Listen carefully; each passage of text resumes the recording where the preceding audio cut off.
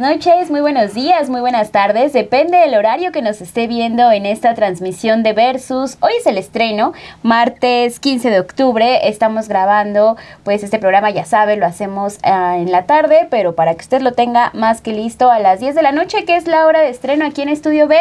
Y también en Sin embargo al aire ya lo puede encontrar todos los miércoles a las 4 de la tarde. Así que tiene opciones para ver el Versus, que el día de hoy va a estar muy interesante, muy buenas noches, muy buenos días, muy buenas tardes, Alina, Meme, buenas, buenas. Dani, compañía, ¿cómo están? Buenas, buenas, buenas. Todo muy bien. ¿Ya mejor, Meme? Sí, sí, muchas gracias. Bueno, esperemos ¿Cómo está que... el team, Dani? Bien, inquieto. Inquieto, inquieto. Pero bien. Lata, lata, latoso. ¿Cómo estás, Alina? Bien, bien. Ella es la más convincente. Sí. bueno, pues vamos a entrar de lleno al tema que le tenemos preparado el día de hoy, porque como usted sabe, mañana ya por fin, después de tantos retrasos que se intentaron hacer para que no se diera a conocer la sentencia final del exsecretario de Seguridad Pública en la administración de Felipe Calderón, hablamos del superpolicía Genaro García Luna, pues mañana ya se va a conocer cuántos años va a pasar en prisión, luego de que el año pasado, sí, el año pasado se le encontró culpable de cinco cargos, varios de ellos estaban vinculados con la delincuencia organizada, con el crimen organizado, pero ¿acaso actuó solo este personaje, Genaro García Luna? ¿Quién más está implícito en estos eh, momentos que tuvo cuando inicia la guerra contra el narcotráfico? Pues aquí lo vamos a platicar, así que quédese con nosotras, deje sus comentarios acá abajo, deje su me gusta, comparta esta transmisión, el estreno de Versus y arrancamos.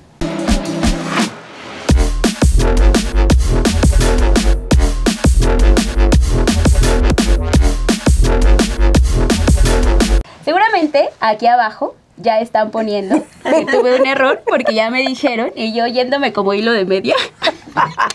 Es que está implícito, todo está Todo implícito. está implícito, todo está implícito, todo está pero no. implícito. ¿Quién más está implicado en esta red de narcotráfico? ¿Cómo actuó Genaro García Luna? Esos, esos personajes son los que vamos a hablar el día de hoy. Muchas gracias, chicas. Ya me hicieron ver el error, así que muy probablemente también aquí ya se quedó grabado. Y gracias a ustedes ya lo corregimos, así que vamos a arrancar de lleno con toda esta discusión. Alina, arranquemos contigo. Bueno, Que insiste. y todos felices allá. Sí, así de- ¿Cuál es el contexto también de este personaje, Genaro García Luna? Porque después de un juicio en el que trataron incluso de decir que cada una de las pruebas que se aportaron en su momento, las declaraciones, no eran las válidas para que se encontrara culpable por parte del jurado en la Fiscalía de Brooklyn, allá en Nueva York, Estados Unidos, ¿qué pasa con todo este contexto? Porque pareciera que se nos olvida todo el trabajo que hizo Genaro García Luna aquí en México en la guerra contra el narcotráfico y que ahora se le encuentra culpable y que en ese momento pues había una persona narcotraficante en el poder. Bueno, es que es un contexto en realidad, eh, es poner todo un sexenio y la historia propia de este país, eh, pues eso, ¿no? A consideración de las pruebas suficientes o no que se tengan. Y a mí me parece, hay que empezar diciendo que estamos ante un juicio que es un arma de doble filo, porque estamos dejando en manos de las autoridades de Estados Unidos la decisión de lo que pasó o no pasó en México, ¿no? Eh, a esos niveles estratosféricos y de Estado. Eh, y eso también puede ser muy peligroso, ¿no? O sea, creo que con tantos cargos, con las carpetas de investigación, podríamos creer que el juicio va a ser una condena, no sabemos si de 20 años o de, de, de qué magnitud, de qué dimensiones, pero lo que se está poniendo ahí es algo que se vino denunciando y que costó incluso muchas vidas, no solo de los llamados o los que llamaron daños colater- colaterales, sino de los propios y propias periodistas que evidenciaron esto.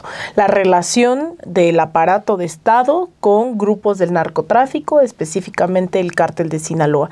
Eh, fue toda una invención, así como es la llamada verdad histórica de Ayotzinapa, la llamada guerra contra el narcotráfico, fue una puesta en escena de un gobierno que buscaba favorecer los intereses de un grupo de la delincuencia organizada, eh, favorecerlos, eh, beneficiarles y estar al servicio de los mismos, dejando este país con otro rostro totalmente distinto. Eh, no estoy diciendo que antes estuviera bien, sin embargo había, claro, desigualdad, pobreza, privatizaciones, ¿no? Es decir, el neoliberalismo más en su rostro económico, político y lo que vinieron a dejar después de esa mal llamada guerra fue un país de fosas clandestinas, un país de desapariciones, de asesinatos, de feminicidios, eh, una pues prácticamente guerra civil, ¿no? Que eso no se tenía y que costó muy caro y hay que decirlo, todo empezó con un fraude electoral que nunca hay que olvidar. Sin ese fraude electoral el país hoy simplemente no sería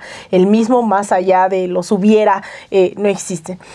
Durante todo este periodo, a partir del 2006, lo que vimos fue el acrecentamiento también de estos grupos delincuenciales, porque no solo se les favoreció atacando a los otros, sino se les favoreció dejándoles crecer en completa impunidad al grado de tener prácticamente ejércitos armados en este país, eh, también con la ayuda del tráfico de armas por parte de Estados Unidos, generando pues que hoy haya partes y hemos visto videos lamentablemente del nivel de equipamiento de todos estos grupos, ¿no? En, en, en algunos de los estados de este país que les permiten actuar, ¿no? Y sitiar eh, como esto es el culiacanazo de un momento a otro.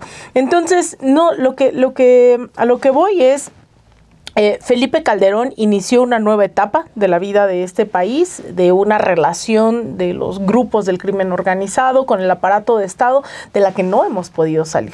O sea, se ha ido avanzando, se ha ido tratando de retroceder en esas eh, lógicas y ahí también los medios de comunicación jugaron un papel que no tenemos que olvidar de silencio, de complicidad, asegurando que esto no era cierto, criminalizando a quienes denunciaban que esta era la realidad en este país y que hoy ya llegando al 2024 a la silla de los acusados con carpetas de investigación, pues espero que le beneficie a la historia de este país, que se haga un poco de justicia y que eso sea mi máximo anhelo no es solo que le pasa o no a García Luna, sino lo que se logre destapar, porque es impensable que Felipe Calderón no estuviera al tanto de lo que estuviera haciendo su secretario de seguridad, su SAR antidrogas y demás. No es posible que no haya habido colusión en todos los niveles de Estado, desde lo más local, estatal, federal, y que también incluso ahí tendremos que ver también incluso que por acción o omisión qué rol jugó el ejército, ¿no? ¿Qué rol jugó la Marina? Es decir, eh, esto puede romper un cascarón que hasta hace, hasta ahora todavía es un tanto de acero en muchas partes del país, en muchas esferas, en muchas estructuras, y que simplemente esa espero que nos ayude a visibilizar la dimensión de lo que ocurrió en estos años, que se la han pasado, o sea, con qué cara vienen a decir hoy, o el, el propio Mayo Zambada, o el propio Genaro García Luna, que vienen a decir que hay una relación actual del gobierno con el narcotráfico cuando ellos eran el máximo cártel de este país, operando desde la silla presidencial, no me queda duda de ello. Así que de esas dimensiones es histórico lo que vamos a estar viendo. Eh, sabemos que hay muchos periodistas que ya están ahí en Nueva York. Hay muchos y muchas también paisanas que están ahí, van a presenciar eh, también, van a ser testigos de este, de este juicio, que a mí sí me parece en términos de la historia de este país, pues espero que nos dé más respuestas de las preguntas que venimos teniendo desde hace muchos años. Y se alcanza justicia, Dani, también con este hecho, porque parece que está lejano, ¿no? Que veamos un juicio así aquí en México y que sea Estados Unidos eh, un personaje que también estuvo condecorando por muchísimas veces a Genaro García Luna, quien le vaya a dictar sentencia y quien posiblemente también le dé a lo mejor cadena perpetua. Entonces, ¿se alcanza justicia con este acto y con esta sentencia que vamos a presenciar? Pues no sé, coincido mucho con parte de lo que ya comentaba Alina y de, que incluso enlistabas la semana pasada que hablábamos del tema de la perspectiva de seguridad ya en adelante. O sea, porque sí estamos sin duda ante una herida muy abierta, ¿no? Y una herida que todavía duele, que es todo ese capítulo de la guerra contra el narcotráfico. Este, la semana pasada tú hablabas sobre todo este asunto de la narcocultura, que si bien no viene quizás desde estrictamente desde el 2006, desde que empieza la guerra, sí se agudiza más, ¿no? O sea, sí empieza como todo este fenómeno, este boom Y es muy sorprendente que lo haya cuando justo el, el, crimen del narcotráfico no solamente es la distribución y la venta de drogas, ¿no? O sea, lo que genera, por ejemplo, la, la guerra contra el narcotráfico de Calderón es todo eh, este boom en diversos delitos que van de la mano con el narcotráfico, que por ejemplo la trata de mujeres, ¿no? Que a mí siempre me ha molestado mucho cómo en las eh, series de Netflix ponen al Chapo, al Mayo como los tipos súper guapos, súper fuertes, cuando pues estamos hablando de que son tipos que están eh, gozando y además organizando redes de trata de mujeres, de jovencitas, de niñas. Entonces es como siempre un sinsentido. Se explota también eh, la, la trata de migrantes, o sea, es toda, toda una red de violencia excesiva, ¿no?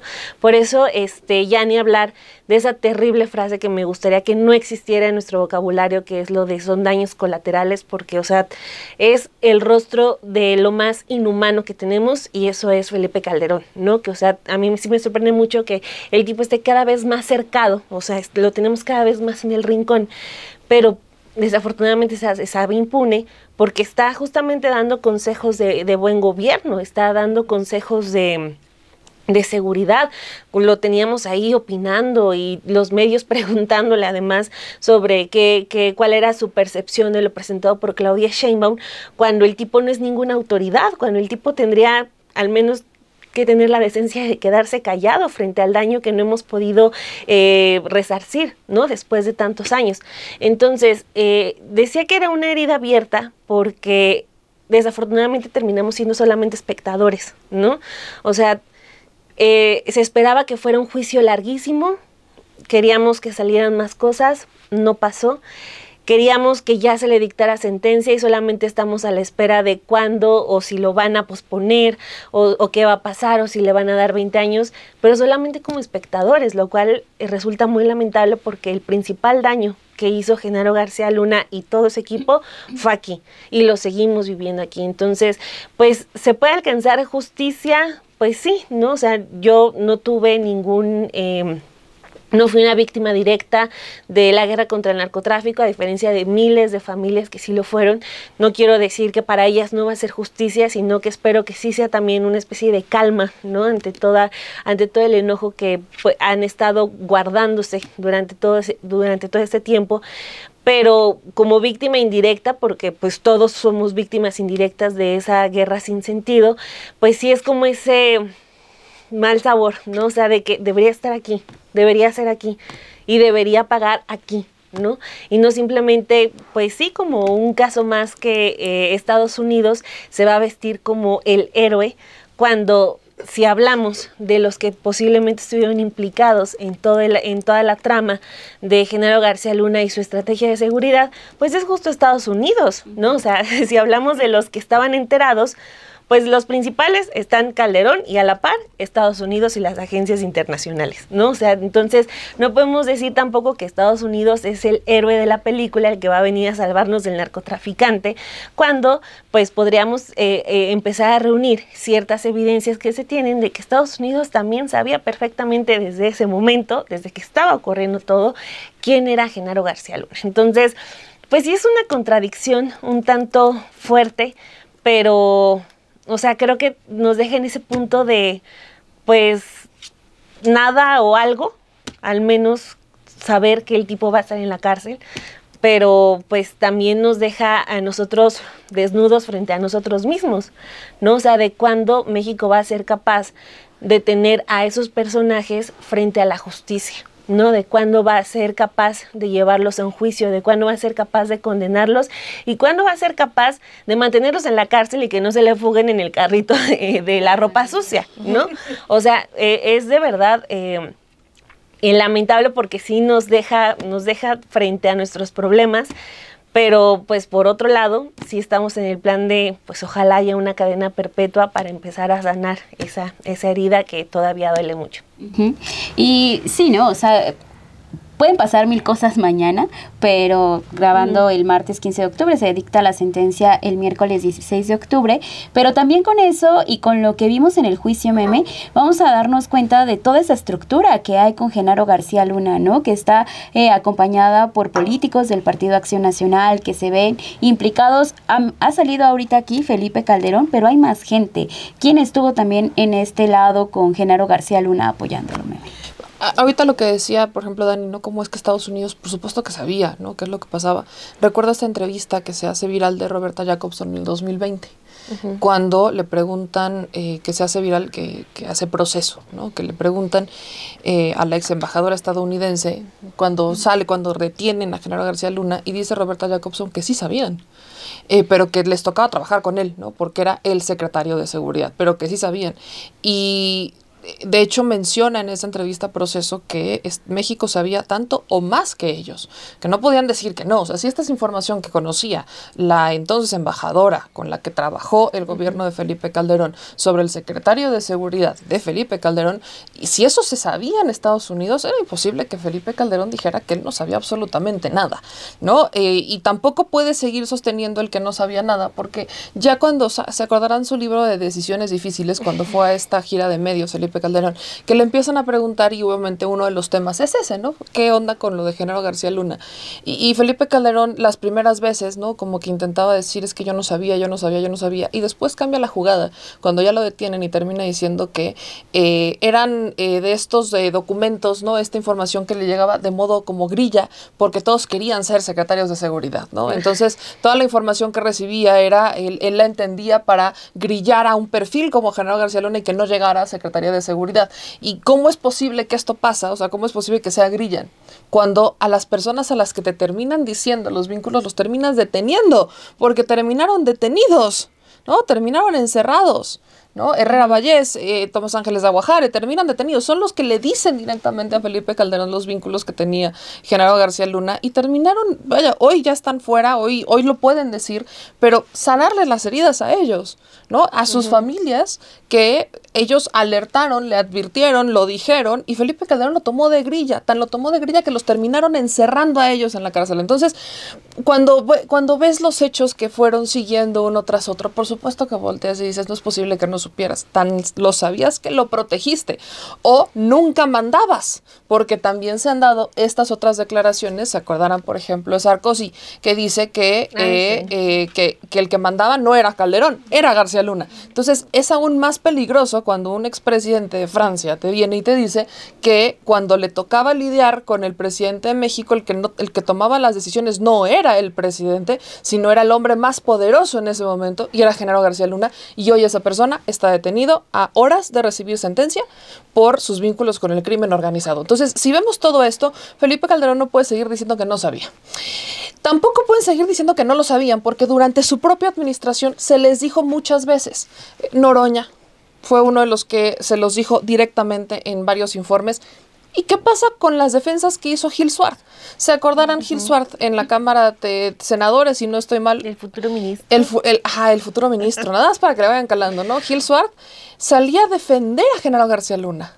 Entonces, estas son declaraciones que no pueden, son acusaciones que no pueden sorprender en ninguno de ellos, porque las conocieron antes de nombrarlo, sabían lo que pasaba mientras él estaba en el cargo y tenían que estar constantemente en su momento desmintiéndoles a la oposición entonces todas estas declaraciones. Lo sabía la ex embajadora, lo sabían los funcionarios en Estados Unidos, todo el mundo lo sabía, pero hoy Felipe Calderón, así como lo dijo cuando estaba en la promoción de su libro de Decisiones Difíciles, que las acusaciones no le cuadraban no le cuadraban. Eso es lo que todavía hoy sostiene Felipe Calderón, que no le cuadraban. Mientras el juicio se alargaba, Felipe Calderón decía, es que, este, ¿por qué no, lo anda, ¿por qué no le dan sentencia? ¿Ven?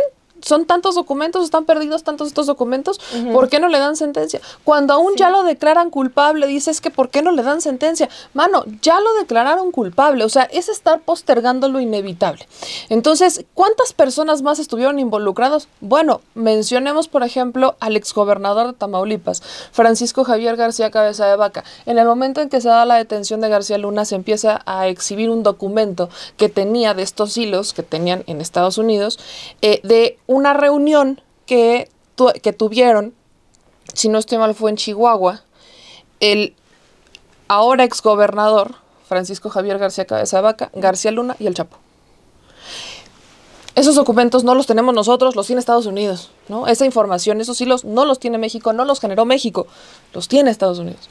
¿Quién es más? Bueno, después de escuchar todas las defensas de Gil Swart, también creo que hay que mencionarlo. Eh, la red de Genaro García Luna, aparte de sus familiares, cómo estuvieron involucrados empresarios en Estados Unidos, eh, la, la ex encargada de la Procuraduría, imagínense esto, la ex encargada de la PGR, la que prácticamente le hacía todo. Genaro García Luna quería detener a una persona y entonces en la PGR hacían lo que Genaro García Luna dijera. Era no solo el hombre más peligroso, sino el que en su momento tenía más poder. Y cuando sale Felipe Calderón a celebrar y a decir en estos últimos días que él sí fue valiente en una guerra y confrontó al crimen, Perdón, pero ¿con qué cara viene a decirnos eso?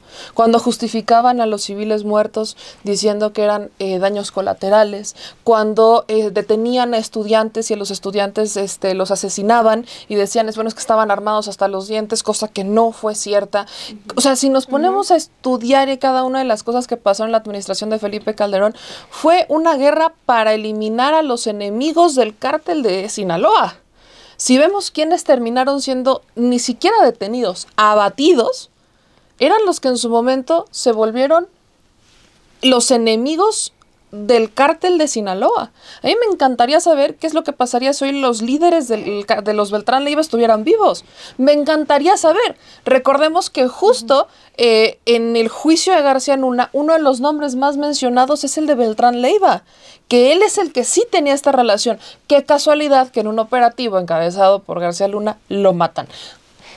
O sea, preferían tenerlos muertos porque tenerlos detenidos Estados Unidos iba a pedir la extradición y Estados Unidos al tenerlos en su poder, lo que iba a pasar era justamente lo que pasó en ese momento con García Luna detener al exsecretario de Seguridad y quién sabe a cuántos más. ¿Acaso la administración de Felipe Calderón detuvo al Chapo Guzmán en algún momento? Fue la de Peña. Se les escapó y lo detienen otra vez. Y cuando extraditan al Chapo, en los últimos minutos ya casi de la administración de Peña, que lo extraditan, el que más pudo haber temblado era Calderón porque solamente las cabezas saben con quién tuvieron relación. Yo creo que es justo el mismo tema el por qué no están tan, eh, no han querido hablar mucho del caso del Mayo Zambada. Porque el Mayo Zambada es uno de estos últimos criminales de los originales que no solamente pudo haber tenido tratos con García Luna, sino en la historia sepa con cuántos presidentes, sepa con cuántos funcionarios ha tenido relación. Le sabe todo. Exacto, entonces en este momento es, vaya, es hasta poético, si lo queremos llamar así, que se dé la sentencia de García Luna y la misma semana se da la audiencia de Mayo Zambada en el mismo lugar con el mismo juez. No es casualidad, no es coincidencia. Entonces, cuando vemos cómo se está armando todo, creo que al final las cosas por su propio peso caen y la verdad está saliendo y no les va a gustar lo que va a terminar de salir. Sí, van a pasar distintas cosas, porque, o sea, eh, uno de los puntos también que hay que recordar de cuando se da la sentencia y cuando se detiene a Genaro García Luna en el 2019 fue también decir que tenía un trabajo ya de dos décadas con el cártel de Sinaloa. Si estamos hablando que se le detuvo en el 2019 y ya llevaba dos décadas de trabajo con este cártel, estamos hablando que incluso antes de que iniciara la guerra contra el narcotráfico ya venían todas estas vinculaciones, lo que nos hace pensar también entonces cómo Vicente Fox también está involucrado en esta parte. O sea, no hay que dejar de lado todo el trabajo que hizo durante esa administración con eh, Felipe, con Vicente Fox, cómo se fortalece a este personaje tratando de decir y darle eh, cierta fuerza para seguir en los, eh, los trabajos de inteligencia y de seguridad y posteriormente también cuando ya construye esta Secretaría de Seguridad para que desde, desde ese punto él empezara con esta guerra contra el narcotráfico, porque muchas veces ubicamos a Felipe Calderón como la persona que arranca, claro, porque era el presidente y porque él estaba dando la cara ese, eh, ese mes de diciembre, ¿no? Y haciéndole frente de acuerdo con lo que inicia con su guerra. Pero quien está detrás es Genaro García Luna, es quien ya llevaba varios años trabajando en temas de seguridad, viendo con quién podía hacer las cosas, con quién podía hacer estos nexos. Y ahorita que mencionabas, Meme, por ejemplo, el trabajo que hizo y las reuniones que tenía con Beltrán Leiva, sí, surgieron mucho, pero ¿cómo para identificar cómo estaban esas células criminales, con quiénes sí podían trabajar y con quiénes no? Y hay que recordarlo y decirlo fuerte, ¿no? Genaro García Luna fue culpable y es culpable de todos esos nexos con el narcotráfico, que no se nos olvide, porque pareciera también que desde la oposición a las personas que ya nombraron ustedes, sobre todo Felipe Calderón, que ahora dice que es un traidor a la patria, que solamente se va a referir a él de esa manera, pues claro, es para limpiar cada uno de estas acciones y para limpiar esos, eh, esos hechos que se estuvieron gestando, insisto, no solamente en el periodo de Felipe Calderón, sino desde tiempo atrás con Vicente Fox, desde que entran en el poder el Partido Acción Nacional en esta supuesta transición ¿no? que hubo del PRI al partido.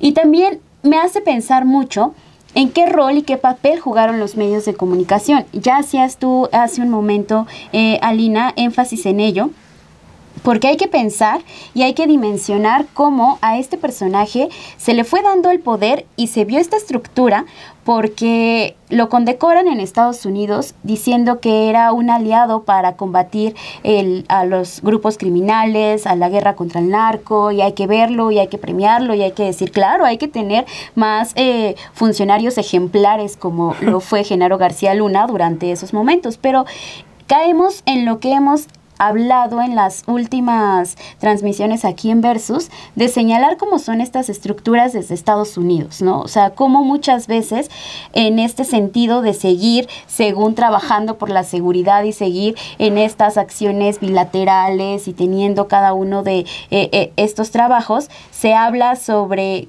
tiene que venir Estados Unidos a decirnos cómo se tienen que hacer los trabajos, tiene que venir eh, otras organizaciones eh, internacionales a decirnos, no, eso está mal, eso está bien, y eso es lo que se busca, ¿no? Desde el Partido Acción Nacional, ¿Qué es lo que está buscando ahorita Marco Cortés también, decir, ay, señálenlos como narcoterroristas, hay que eh, decir que el narco es eso, terrorismo, que venga a Estados Unidos a decirnos cómo hacer las cosas, pero ahora, y recuerdo esta tradición que, contradicción, Dani, que acabas de mencionar también, de decir, bueno, Estados Unidos lo condecoró, pero también es quien lo va a sentenciar, ¿no? Ahora, entonces, ¿en dónde está esa estructura y los medios de comunicación, qué rol también juegan en esta estructura, Lina? Bueno, fue fundamental, ¿no? O sea, fue parte de esa legitimación de la mal llamada guerra contra el narcotráfico, en donde le hicieron creer a la gente que de verdad eh, estaban haciéndolo por su bien, ¿no? Eh, no habría tenido el mismo éxito, imagínate, la, el nivel de disociación de la gente viendo lo que está pasando eh, evidentemente eso hubiese provocado un estallido de no ser porque no había disidencia en ese momento como a lo mejor hoy lo puede haber, eh, sea en, sin embargo, con meme, ¿no? O sea, esos otros espacios que no habían germinado para, para esas fechas. Los medios, insisto, no, yo creo que no podríamos explicar ni eso, ni eh, lo de Ayotzinapa, ni un montón de, de, de, sucesos en las últimas tres décadas al menos, si no fuese por ese nivel, ¿no? Tan pro más, mucho más, de hecho, eh, tan profundo desde la creación de Televisa en este país, que pues lanzaba verdades, ¿no? Y nadie las podía cuestionar primero porque pues a la tele no le puedes reclamar. Acaban de poner un presidente. Exacto. ¿no? O sea, también. Sí, sí, acaban de, sí, sí, o sea, eh, por eso digo, el, el, rol de los medios fue, fue fundamental, pero son muchos los elementos que tú mencionas, Perla, y que sí hay que verlos como un todo, porque siguen intentando actuar de esa forma hoy en el 2024. No es que ya se fueron a dormir y ya nos dejaron y no, o sea, chida su 4T. Pues no, o sea, los medios de comunicación siguen operando y cada vez de forma mucho más reaccionaria, van germinando discursos cada vez más racistas, misóginos, este, no, no es menor la audiencia, aunque quisiéramos minimizarla, no es menor la audiencia de alguien como Alasraki, no es menor la gente que todavía consume, sea porque es más fácil prenderle a la tele y no sabes cómo poner ponerle a YouTube, no sé, pero aún así más del 90%, de acuerdo con el IFT, el Instituto Federal de Telecomunicaciones, consume todavía los grandes medios corporativos, sea para disputar el sentido común de las telenovelas o para el noticiero estelar de la noche que nos dice no le hagas caso a Gatel a mitad de una pandemia. Entonces, eso sigue operando, pero también sigue operando Estados Unidos. O sea, Estados Unidos hay que insistir, no es nuestro amigo será un aliado económico dadas las condiciones actualmente que hoy tenemos, pero la historia de Estados Unidos es de robo de territorio, de invasión de otros países, de bloqueo económico, de intervenciones, sean eh, políticas, de mm, sus medios. Eh, bueno, Estados Unidos y sus medios de comunicación del establishment han insistido en que el tema del narcotráfico hoy en México se tiene que considerar un tema de terrorismo y eso lo impulsó desde Hillary Clinton como secretaria de Estado eh, para que entonces pudieran invadir nuestro país. Y hay un montón de republicanos y demócratas que siguen creyendo que tenemos que nombrar a los narcotraficantes terroristas para entonces que el ejército estadounidense pueda invadirnos. O sea, no, no digamos, siguen operando en, en esas dimensiones. Pero también Estados Unidos, y le tendría que quedar claro ni siquiera a la gente de izquierda, a la gente de derecha, que Estados Unidos utiliza a la gente a conveniencia de sus intereses. O sea, de verdad no entienden que Estados Unidos utilice estas marionetas para fines golpistas, intervencionistas y después los abandone. Los abandona. Llámese Yanine Áñez para dar un golpe de Estado en Bolivia, Juan Guaidó en Venezuela y los dejan a su suerte. Bueno, uno de los casos que a mí me parece que hay que tener presentes a la luz de lo de García Luna es el caso de Juan Orlando Hernández, expresidente de Honduras, que de verdad Estados Unidos no sabía que traficaba drogas eh, como si fuese, qué sé yo, Coca-Cola, ¿no? Este, durante años. O sea, todavía lo dejó terminar su mandato.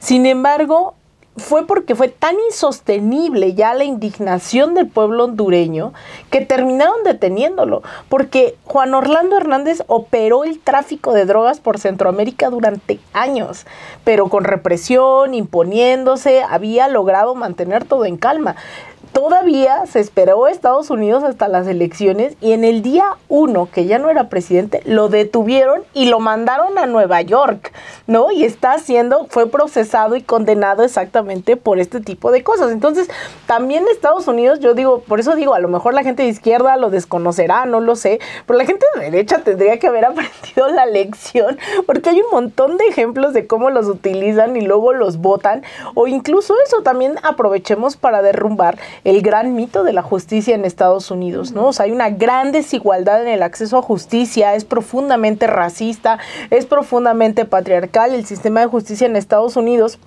Y también hay que decirlo, incluso estas grandes instituciones que se dicen están velando por la democracia, la justicia o para combatir la, el tráfico de drogas como la CIA, como la DEA, etcétera, pues son las primeras que están llenas de casos de corrupción en donde sus agentes, y lo habíamos hablado aquí en, en otra ocasión, sus agentes están implicados justamente en lavado de dinero, en tráfico de drogas, en un montón de casos. Entonces, también pensar el balance, por eso yo decía, es, es muy fuerte, eh, que de repente, ah, bueno, entonces a veces sí le creemos y a veces no al gobierno de Estados Unidos, y por eso también hay que traer a colación lo importante que es la reforma al Poder Judicial en este país, porque no podemos, eh, podemos perder soberanía en temas jurídicos y tenemos que fortalecer los mecanismos para juzgar a ese tipo de personas en territorio nacional, porque entonces vamos a esperar a que Estados Estados Unidos le dé la gana quedar bien o dar mensajes de que así hay que le determinado Además en plenas elecciones, o sea, también se ha pospuesto, estamos a unos meses de las elecciones en Estados Unidos, ¿no? Todo lo que esto puede servir para ambas facciones, ambos partidos, con los discursos que quieran, tampoco es casualidad. Entonces sí es importante también eso, que a lo mejor ahorita se tengan buenas carpetas, pero ya vimos que pues, también es un balance político del gobierno de Estados Unidos y de sus instituciones para ver a quién sigue, a quién no meten a la cárcel y sobre todo cuándo. Entonces los medios, Estados Unidos, o sea, digamos, es, es un todo que hay que seguir eh, visibilizando para no creer que es buena voluntad o a veces sí hay justicia, a veces no, cuando también es una maquinaria que sigue operando todos los días. Es que es eso, ¿no? O sea, lo que ahorita mencionabas, Dani, eh, pareciera que nos están haciendo justicia en Estados Unidos, pero cuando ya te adentras a ver cuáles son estos intereses, intereses que hay por parte de este país y cómo ha actuado en otros casos, simplemente nos damos cuenta que no es que en realidad quiera venir a ayudarnos y quiera venir a decirnos, ¿no? O sea, más bien, ¿qué intereses ves tú, Dani, en este momento también que tenga eh, una nación como Estados Unidos cuando se presenta una segunda, eh, un segundo piso con un segundo gobierno desde la izquierda aquí en México y cuando tenemos una reforma al Poder Judicial que ya está entrando en trámite, ¿no? Y que esto también apoyar un poco a lo que mencionábamos hace un momento. ¿Encontrará la justicia la gente que se vio dañada y las víctimas de toda esta guerra contra el narcotráfico? Porque hay una carpeta de investigación aquí en contra de Genaro García Luna y cómo se enriqueció y que incluye también a toda su familia, que eso sería un logro, ¿no? Que se llegue a concretar algo contra la familia y contra los cercanos de Genaro García Luna. ¿Crees que eso pueda suceder? Y si hay intereses también ahí de por medio para Estados Unidos. Bueno, a ver, sobre este último punto que mencionabas sobre las carpetas, yo tengo cero confianza. O sea, antes de que pasemos a lo eficaz que pueda ser o no la reforma del Poder Judicial. O sea, si nos quedamos con la eficacia de la Fiscalía, híjole, la verdad ahí yo definitivamente no tengo esperanzas. Está el trabajo que ha hecho Pablo Gómez para robustecer lo que ha hecho la Unidad de Inteligencia Financiera para hablar del esquema de enriquecimiento de la familia de Género García Luna pero ha quedado solamente como una muy buena exposición en las mañaneras del expresidente, ¿no? O sea, no hemos visto más, ¿no? Entonces, mucha esperanza en eso, pues desafortunadamente no tengo. Sobre el otro tema que pones eh, de cuáles son los intereses de Estados Unidos, híjole, pueden ser muchísimos, ¿no? Eh, pero sí creo que justo ahorita eh, hay varios medios de comunicación tanto de Estados Unidos como me encanta ya que tenemos que meter en ese costal a los periódicos españoles, que cómo le escaló lo que hizo Claudia Sheinbaum como de los primeros actos de su gobierno, que fue declararles la guerra por el no perdón. O sea, ya también ellos están reportando lo que reportan periódicos de Estados Unidos con fuentes, este secretas, ¿no? Entonces tenemos periódicos gringos y españoles diciendo que hay una preocupación de Washington por la nueva presidenta y por la reforma al Poder Judicial. O sea, sí vemos ahí que hay una campañita, ¿no? Fuerte o no, eh, incluso en la mañanera de, del martes, pues sale eh, Marcelo Ebrard a decir, les vamos a hablar hasta en su idioma, o sea, ya acordamos hablar en inglés para darles una explicación de por qué va la reforma al Poder Judicial, de que, de que tenemos que hacer una reforma porque si no, los empresarios y el gobierno nos estarían diciendo, ¿por qué no reforman ese, ese eh, maldito Poder Judicial que no sirve? O sea, de alguna u otra forma habría un reclamo. ¿No? Entonces, este, y les vamos a explicar que no se va a poner en riesgo absolutamente nada, que esto y que aquello, o sea, se les va a buscar calmar, ¿no? Entonces, quizás por ese lado eh, sea como un intento como de meter eh, alguna presión pero pues bueno, eh, no, no sabemos qué tan real sea esa preocupación desde Washington como lo reportan en, los pues, medios. Pues yo no sé qué tanto sea cuando los inversionistas están anunciando una inversión de más de 20 mil millones de dólares. O sea, yo no sé qué tanto están preocupados cuando le dicen a la presidenta, vamos a invertir más de 20 mil millones de dólares, entendiendo que aparte afuera estaban los del Poder Judicial protestando y que estaban, dice y dice y dice y dice que iban a mandar sus cartitas y que intervengan y que por favor no inviertan en México porque es un peligro pancartas en inglés. exacto, y que llevan sus pancartas en inglés para que no quede duda de que México es un peligro y entonces...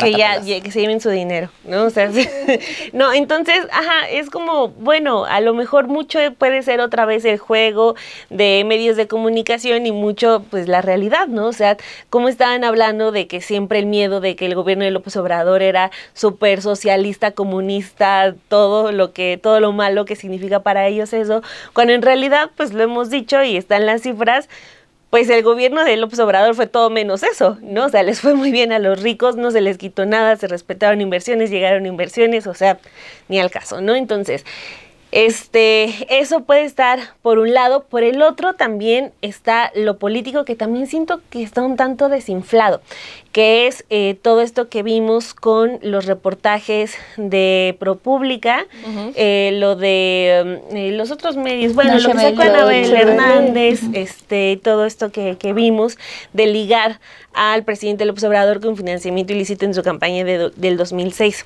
este, salieron esos reportajes, luego salió lo de la Carta del Mayo, sale la carta de Genaro García Luna donde dice esa Carta del Mayo confirma que sí hay nexos de López Obrador con el narcotráfico, vimos todo lo de narcopresidente, narcocandidata, luego narcopresidenta, lo siento también un tanto desinflado, ¿no? Porque justo quedaron exhibidos como los orquestadores de campañas muy ridículas y muy costosas, por cierto. Entonces, como que el asunto político también ahí quedó, ¿no? Como otro esfuerzo no, no muy exitoso de la oposición por querer ensuciar o por querer dejar la manchita. Incluso recordemos, hasta Xochitl Galvez fue y le dijo narcocandidata a Claudia Sheinbaum en uno de los debates. ¿no? Y después dijo que había exagerado. Ay, perdón. Y la sancionaron Y la sancionan además. Todo les Cosas de- la sanción cosas. Xochitl. Es que Xochitl... eh, Cosas que sí, solo a sí, sí. Xochitl Gálvez le pasan. ¿Por Sí, qué sí, sí. nadie habla de Xochitl? Ay, Ella ¿para insiste, o sea, ella quiere Sí. salir y está ahí, ahí, ahí, pero... ¿Con pancartas en inglés? Pero Con en inglés. en realidad ya nadie habla de ella. Solo nosotras ahorita la, recordamos. Es que, Saludos, es que vino a mi memoria, vino a mi memoria. Saludos a Xochitl Gálvez. Nosotros sí nos acordamos de ella. Qué oso. Pero bueno, o sea, ese tema también lo siento muy desinflado. Entonces, no sé, no sé si vaya a ser ya más fuerte lo del inicio de la audiencia de Ismael El Mayo Zambada el viernes. Pero, o sea, este, creo que al menos aquí en México, otra vez, aunque seamos solamente espectadores, la mirada política está sobre Calderón y está, y como tú bien decías, sobre el PAN. Álvaro Delgado bien lo apuntaba, o sea, es el, nar- es el narcotraficante del PAN. O sea, está ligado es, eh, Genaro García Luna a un partido, hay que decirlo, porque los dos presidentes que ha tenido ese partido tienen el sello Genaro García Luna, que son Vicente Fox y Felipe Calderón. Entonces, el partido sí está implicado, no solamente es una responsabilidad de Calderón, están implicados los periodistas que se dejaron seducir plenamente por Genaro García Luna, que estaban contentísimos con ser cercanos a Genaro García Luna. Entonces, pues creo que aunque Estados Unidos pueda tener sus intereses o sus campañas, o los medios en Estados Unidos puedan tener sus intereses o sus campañas, el interés aquí en México es otro y es uno muy real, ¿no? Que es el de señalar claramente quiénes son los que nos deben respuestas y quiénes son los cobardes que optan por el silencio. Que ahora que mencionabas al Mayo Zambada y lo que va a suceder, creo que y con todo esto que hasta el momento hemos hablado, también nos deja ver cómo llevan estas campañas a través de medios de comunicación, todas las personas que están trabajando con ellos, para seguir tratando de imponer que el actual gobierno tiene nexos con el narcotráfico, cuando en realidad lo que están tratando de tapar es sus nexos que tienen con el narcotráfico, ¿no? La importancia también de que se dé este juicio eh, de el Mayo Zambada, Ismael el Mayo Zambada, cuando nos damos cuenta que es el máximo líder o uno de los máximos líderes del cártel de Sinaloa y todo el trabajo que se hizo en su momento, como quizás también Genaro García Luna llegó a colaborar con este personaje, ¿no? O sea, todo lo que se puede llegar a destapar, vemos el fin de Genaro García Luna, pero al momento se abren mil puertas para seguir ahondando en cuanto estuvieron metidos el Partido Acción Nacional dentro de estas estructuras y qué puertas se puede llegar a abrir también hacia eso en este juicio meme, ¿no? Con Ismael El Mayo Zambada, porque es una semana importantísima en cuestiones de cómo vemos la información. Quizás no eh, lo vamos a tratar nosotras diciendo eh, que sí, que el actual gobierno tiene nexos contra el- con el narcotráfico, porque ya se dio a conocer por parte de ProPública y vamos a seguir repitiendo, ¿no? Pero quizás sí lo que ya se sabe y lo que ya estamos viendo y lo que ya tenemos, como a Genaro García Luna, quien sí tuvo nexos con el narcotráfico y con el cártel de Sinaloa. No creo que no nos podemos sorprender porque justo cuando están estos criminales de alto perfil eh, sentados, pues es cuando en, en estos juicios, en estas audiencias, eh, es cuando empezamos a conocer las versiones de la historia que normalmente no son públicas, pero que la gente que está en las eh, en, en la región, que está en la zona, probablemente ya sabe, ¿no? Y lo saben bien. Es como cuando vas a, a- a Sinaloa, por ejemplo, la gente sabe cómo se mueven las cosas. Entre más te acercas a Badiraguato, entre más te acercas a las zonas en donde están, pues la gente sabe cómo se mueve, pero no dicen nada en realidad. Eh, en el caso caso, por ejemplo, de los medios de comunicación, es interesante justo lo que estamos platicando, porque eh, añadiendo a lo que ya, me, ya han mencionado, pues valdría la pena no olvidar el pacto de medios de comunicación. Y quien también estuvo en ese pacto fue Ciro Gómez Leiva, que no perdió la oportunidad, Ciro Gómez Leiva, y no ha perdido la oportunidad, insiste mucho en sus programas, los últimos que hace desde México antes de irse a Madrid, que el que sigue es el presidente López Obrador, bueno, expresidente Andrés Manuel López Obrador, ¿no? O sea, como que le manda la advertencia diciendo, vea lo que le pasó a García Luna, usted es el siguiente. Y pues vaya, ya, ¿cuánto tiempo tiene el presidente que dejó de ser presidente? ¿Dos semanas? ¿Tres? Dos semanas. Dos, semanas. Dos semanas. Dos semanas. Dos semanas. Días. 15 días. Tiene 15 días exactamente. 15, pues sí, ¿verdad? 15 días. Tiene 15 días que el presidente, el expresidente Andrés Manuel López Obrador dejó de estar en el gobierno. Y pues yo no he visto ni que empiecen a abrir carpetas de investigación o que empiecen como a hacer ruido de vamos a detenerlo. No lo he visto en realidad. Eh, creo que lo que ellos esperan es justo que el mayo hable sobre un vínculo que se inventaron y que salió a raíz de vale la pena recordar, testigos de García Luna. Porque cuando salen estas notas de ProPublica y, y demás, a quien, la o sea, quien la DEA, quien le había dado la información a la DEA, fue un testigo colaborador que fue muy beneficioso en la época de Calderón y García Luna que es muy cercano a estos personajes. Entonces, qué curioso que alguien eh, que además, ¿no? Esta persona que se le ha tachado en más de una ocasión en Estados Unidos por dar testimonios falsos, que se han caído los casos porque no da información que eventualmente llega a algún lado y solamente quiere mantener este perfil de criminal como para mantenerse vigente y obtener estos eh, beneficios por parte de los eh, convenios en Estados Unidos. Eh, es conocido que es un personaje que simplemente no, no te lleva a ningún lado con su información, pero que está muy cercano a García Luna. Entonces, bueno, creo que volvemos al mismo escenario de cómo están intentando presionar y presionar y presionar y presionar para que se vaya en contra de un Andrés Manuel López Obrador porque siguen sin perdonar que haya abrazado a la mamá del Chapo. No, esa es la evidencia más fehaciente que tienen, que abrazó a la mamá del Chapo. Y que fue muchas veces a Badiraguato. Y que fue muchas veces a Badiraguato. Es, es obvio, ¿no? Claro. Ya. Claro, porque solamente están los criminales en Badiraguato, seguramente, porque hay que seguir estigmatizando a Badiraguato, ¿no? Entonces, eh, Felipe Calderón no pisaba a Badiraguato y su secretario de Seguridad está a punto de recibir sentencia. Creo que el ir o no a Badiraguato no es demostración de culpabilidad alguna. Exacto, no es ningún parámetro. Pero eh, creo que habrá que esperar, ¿no? El caso de, del Mayo en particular, por cómo se dio. ¿No? Eh, se da el presidente, el expresidente Andrés Manuel, todavía me cuesta, Andrés Manuel López Obrador decía ¿no? que la violencia que se desató en estos últimos eh, días en Culiacán es por el operativo que ellos llevaban a cabo sin que le avisaran como tal a México.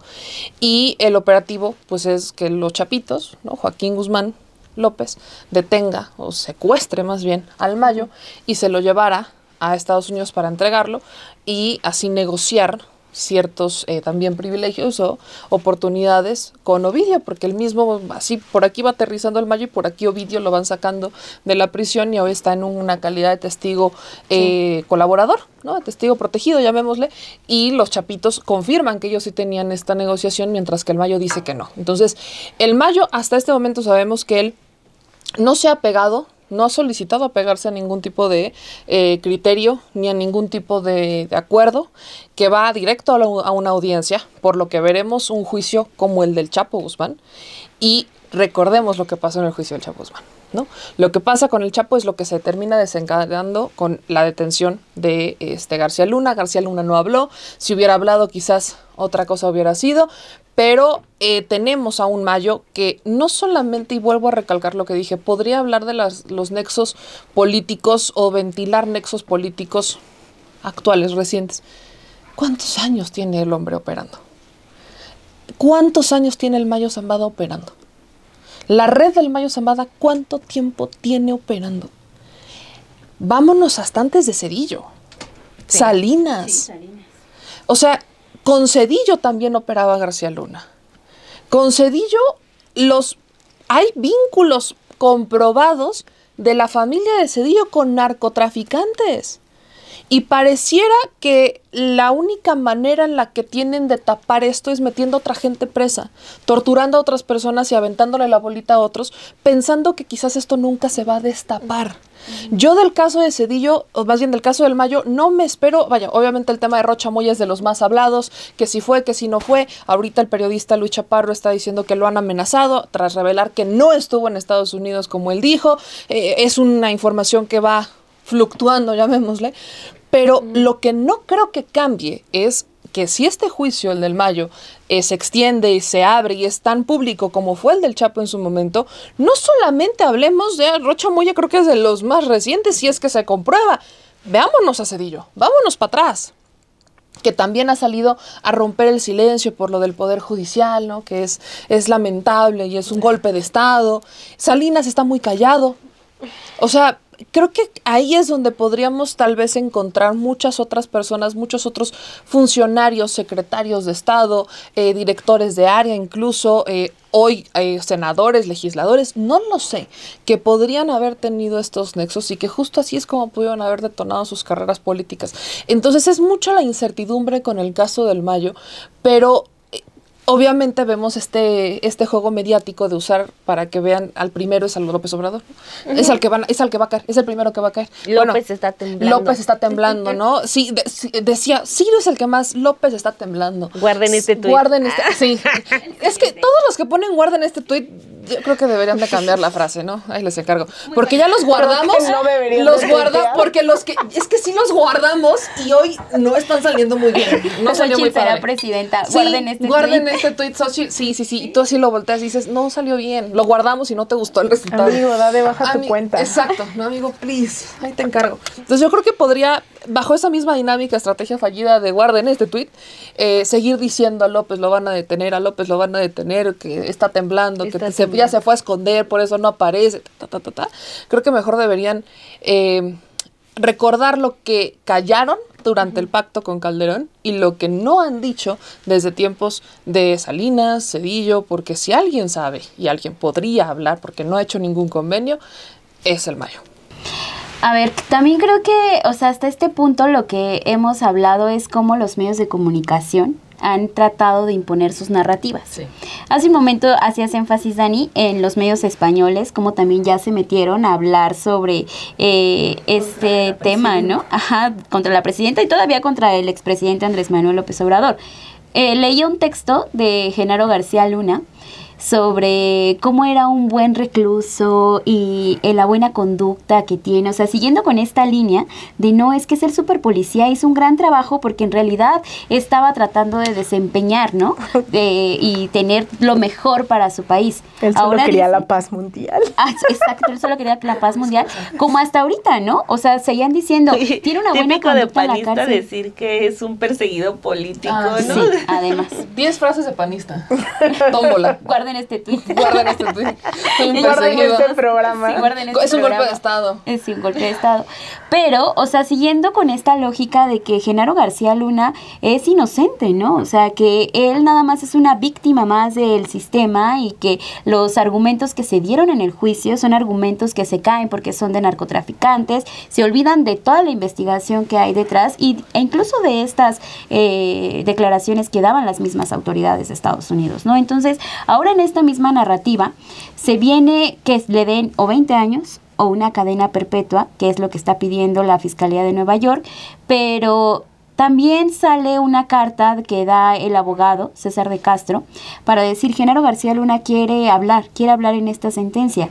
¿Qué van a hacer los medios de comunicación ahora? ¿Y qué va a decir también Genaro García Luna si en la carta que eh, se publica él dice que tiene pruebas y tiene todo lo necesario para inculpar al expresidente Andrés Manuel López Obrador y estos eh, nexos con el narcotráfico? Entonces, Creo que también uno de los puntos que va a dar Genaro García Luna va a irse por este lado, de decir, aquí hay y yo puedo cooperar para decirles, pasó su tiempo, pudo haber sido un testigo también eh, colaborador de las eh, autoridades estadounidenses, pero va a regresar a lo mismo, va a seguir insistiendo para tratar de desviar toda esta atención en contra de los panistas, de los priistas, porque también hay que decir, Enrique Peña Nieto está implicado en este tema al momento de haber seguido con esta guerra contra el narcotráfico. Entonces, ahora que tome la palabra eh, este miércoles 16 de octubre, también va a ser para tratar de seguir con esta narrativa, ¿no? De el expresidente Andrés Manuel López Obrador, el actual gobierno tiene nexos con el narcotráfico y cómo los medios de comunicación van a seguir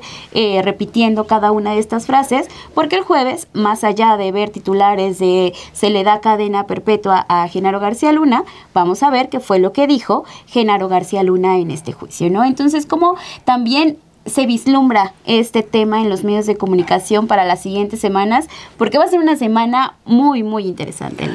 Bueno, ya empezaron, ¿no? Diciendo cómo se va a vestir eh, García Luna para su juicio, que se va a ir de traje, de camisa de no sé qué color, y pues lo dice la presidenta Claudia Sheinbaum, ¿no? Así como, bueno, eso no es lo importante, no nos desviemos. Recuerden en la sesión pasada cuando fue, mandó un beso, ¿no? A su, a su esposa. Ah, y ese fue eh, la noticia. Y si uno hoy pone García Luna en Google, eh, te aparece cómo va a ir vestido, ¿no? A escuchar su sentencia. Y eso es claro, ¿no? O sea, ese es el último de los esfuerzos de los medios de comunicación por decir hay cierta lealtad y no nos desviamos. Estamos muy preocupados por cómo te vistes y si llevas zapato boleado o no. Un tuit muy bárbaro, eh, ¿no? Ah, sí, exacto. Como la nota de la primera dama en 15 de septiembre, ¿no? ¿Quién diseñó el vestido de la primera dama? Exactamente, o sea, yo creo que no están, o sea, siguen en esa, en esa lógica. La otra es el post, ¿no? Que es lo que nos tiene que seguir importando por el nivel y no solamente dentro de los medios de comunicación, tendríamos que estar pensando que eventualmente un saneamiento de la el sistema judicial en este país nos llevaría a que también hagan investigaciones en aras de reconfigurar la historia de este país, no esperando así dice algo o no una corte en Nueva York. O sea, yo creo que tiene que haber de todas maneras investigaciones paralelas porque el nivel de colusión entre el crimen organizado, el aparato de Estado, pero además con esta diversidad, ¿no? Que es lo que las economías criminales se diversificaron, que era de lo que hablabas, Dani, no solamente es, eh, bien lo dices, la venta de estupefacientes o de marihuana, ese es creo que ya el mal menor dentro de lo que está pasando en, en ciertas partes de este país, sino la, el control territorial con, con las personas incluidas, ¿no? Cómo se produce el limón, el aguacate, quién puede o no producir, por dónde pasa o no el tránsito público, los camiones, o sea, es, es de verdad impresionante lo que, lo que nos enfrentamos eh, al hablar de la delincuencia y del crimen y la economía criminal. Entonces, los medios de comunicación están haciendo lo que mejor les compete, que es seguir funcionando a los intereses de unos cuantos. Y también hay que decirlo, los medios también son responsables de esto. Entonces, ¿cuánto de ese dinero, de esa economía criminal que se movió durante décadas, terminó directamente en manos de los medios de comunicación. Ojo, hay ejemplos.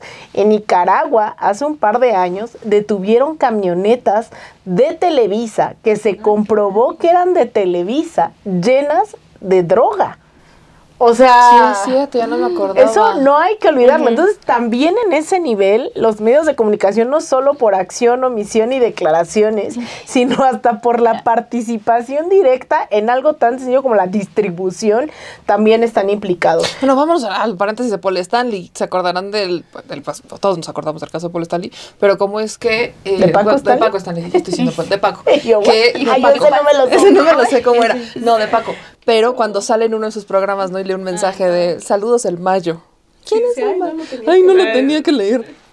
Sí, o sea, digamos, no, los medios de comunicación no son los que salen ahí en los shows, en las son también aparatos ligados directamente a la economía criminal. Entonces también los medios evidentemente tienen que hacer lo suyo, que es lavarse las manos, ¿no? No solamente hay que, recriminarles el pacto de silencio en donde dijeron, ay, bueno, ya desde hoy en adelante siempre va a ser un día soleado, ¿no? O sea, no, también están implicados en ese nivel con el crimen organizado. Entonces, pues eso, yo solo espero que esto sea así, mira, una franjita por donde salgan ciertos rayos de luz y no sé cuánto tiempo va a tardar en desmenuzar todo eso, pero más de uno tendrá que salir implicado en esto.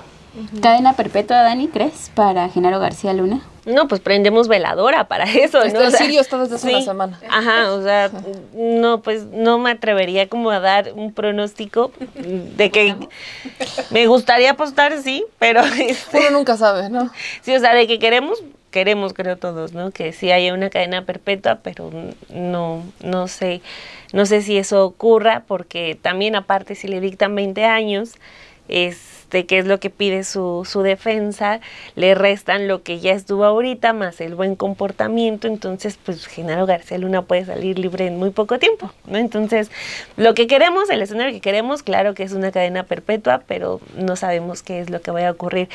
Pero este sí quiero como ahondar mucho en el, en el punto que, con el que cerraba Lina, que es el que se tiene que abrir toda la estructura, ¿no? O sea, este, ya también Claudia Sheinbaum, eh, la, la presidenta ya también dejó ver una pregunta que le hace creo Vicente Serrano justamente sobre si iba a reabrir el asunto de, de enjuiciar a los expresidentes. Este también ya dejó como muy lejana la posibilidad, lo cual se me hace realmente lamentable, este, porque se va una oportunidad, no este pues no política, sino otra vez regresando a un tema de heridas abiertas, ¿no? O sea, también los expresidentes son heridas abiertas para todos nosotros, en mayor o menor medida.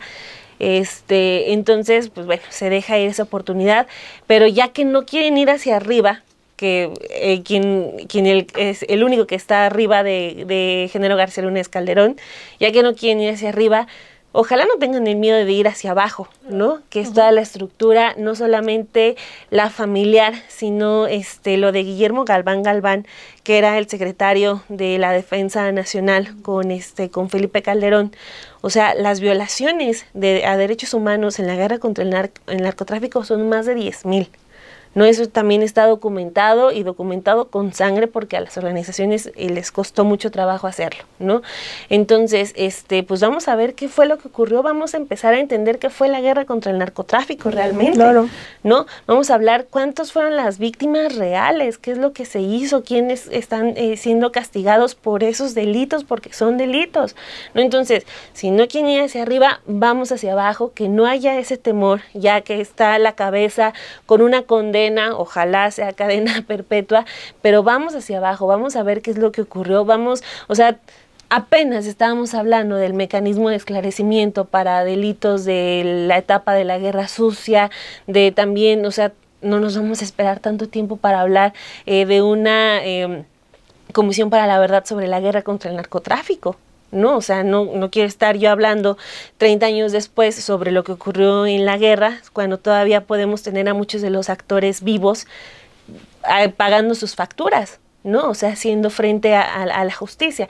Entonces, pasa por muchos, eh, por, muchos filtros, lo que hablaba de la fiscalía, lo que hablábamos ya de los jueces, pero sí también es un asunto de voluntad política. Y ya que Felipe Calderón ha sido un personaje que ni el expresidente López Obrador dejó en paz en sus mañaneras y que en estos 15 días eh, la presidenta tampoco lo ha dejado en paz al momento de ser clara en sus críticas, pues bueno, hay que entrarle al tema, pero en serio, ¿no? Hay que deje de ser solo un asunto que mencionemos en mañaneras, en conferencias de prensa y pues vamos a entrarle en serio. El asunto ya con, con el secretario, con el superpolicía condenado, lo amerita y lo amerita sobre todo las deudas que tenemos con muchas, muchas víctimas. Entonces, pues ojalá ese sea el siguiente capítulo. ¿Tú sí crees que esto pueda llegar a pasar, Meme? O sea, que se toque a algún otro personaje y que se abra esa herida de la guerra contra el narcotráfico para ver también aquí quién está implicado y que haya un juicio medianamente similar a lo que estamos viendo.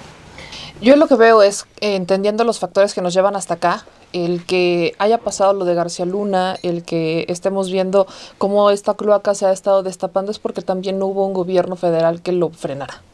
¿No? Porque no es que no, no es que Peña Nieto no hubiera tenido eh, un poder para frenar ciertas cosas mediáticas o para tomar ciertas decisiones y evitar que esto escalara. Lo Calderón lo hizo con los medios de comunicación. Entonces, al no tener un gobierno que intenta frenarlo, creo que sí, Creo que sí pueden pasar muchas de estas cosas porque ya no hay alguien que diga guarda este expediente abajo y olvídalo, quémalo, desaparecelo. Pero por el otro lado también estamos viendo a un poder judicial que está muy ligado a estos intereses. Y que si quieren hacer eso. Exactamente. es, o sea, entonces, por parte del gobierno federal y por parte del poder, es el poder más grande que tenemos en, en México, la autoridad ejecutora más grande, no, pero el poder judicial sí. Entonces, volvemos a la importancia de una reforma de, una, de, de la, lo que fue la reforma, hoy ya ley eh, vigente, ley judicial, porque estás haciendo una sacudida de aquellos que sí te entorpecían casos y que hoy públicamente lo dicen, ¿no? Patricia Guayo, vocera del Poder Judicial, eh, sale a decir que ellos van a boicotear, o sea, abiertamente, no, no saben qué casos, pero que los van a boicotear y que van a obstaculizarlos y que van a quemar expedientes. Ya salieron videos de juezas quemando expedientes de amparos por tómbolas, entonces, por supuesto que ahí es en donde está el, el freno que podríamos llegar a tener. Eh, creo que también un gran freno ha sido las propias fiscalías, de las que también ya vendrá, eh, ya se anunció esta también reforma, porque también los fiscales están vinculados, que no se nos olvide el caso de Uriel Carmona y de otros fiscales, el exfiscal de hasta de Nayarit, que está también preso, vinculado al mismo tema. Entonces, eh, por supuesto que eh, no solamente se centra en quienes fueron integrantes de gobiernos, ¿no? Eh, secretarios de Estado, este, etcétera, etcétera, o de distintos gobiernos, sino también en los autónomos o en el Poder Judicial. El caso del fiscal de Guanajuato, yo creo que habría que verlo como a distancia, ¿no? Vamos a ver qué pasa en estos días. Entonces, eh, creo que sí, creo que sí lo vamos a ir viendo.